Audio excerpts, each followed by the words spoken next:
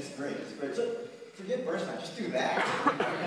um, and as I said, not, I mean, these are young kids playing with that kind of passion. That's what we all aspire to. That kind of passion in music making from the players. They didn't get that just by being good players. They got that from role models. Because that's it's really fun to see something like that. I, I love seeing what they're doing down there with the, the whole the Sistema and all that.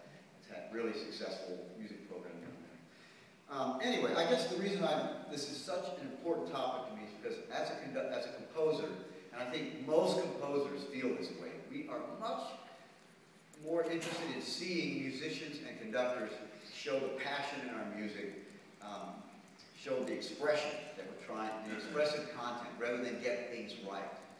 And I think that's something we have to constantly remind ourselves, especially when you're in, especially if you're in districts where contests are important, where the fixing mentality overtakes the inspiration. I think it's really important to get back to the inspiration of things. And um, uh, just, I guess, it all comes down to just a simple thing.